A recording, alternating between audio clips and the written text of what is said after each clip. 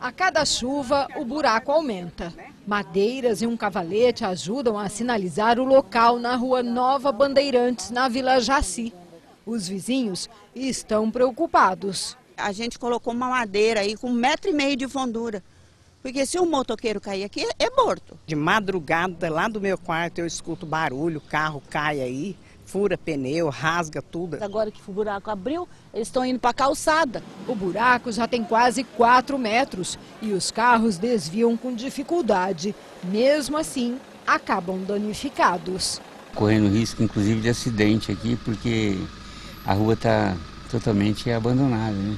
Cheia de falta de manutenção. O pivô desse meu carro aqui já quebrou aqui nesse buraco aqui, ó. Eu passo aqui todo dia.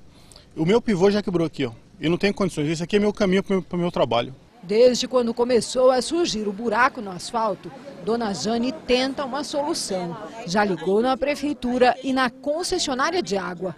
Os dois órgãos enviaram operários ao local, mas não adiantou. O caminhão que veio é da prefeitura. Eles colocaram terra, aí eu falei, mas essa, essa terra a água vai levar. Aí veio o caminhão da Águas. Falou, não, o trabalho não é nosso, porque nós fazemos esgoto. Nós não fazemos água fluvial, o trabalho é da prefeitura. E inclusive aí ficou assim.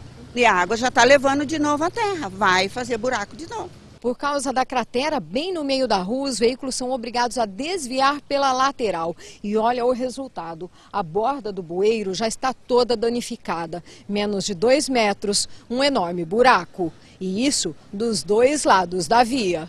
A gente tinha combinado os vizinhos que a gente ia fechar a rua. Porque eles vão começar a passar na minha calçada. E a prefeitura não vai vir arrumar minha calçada.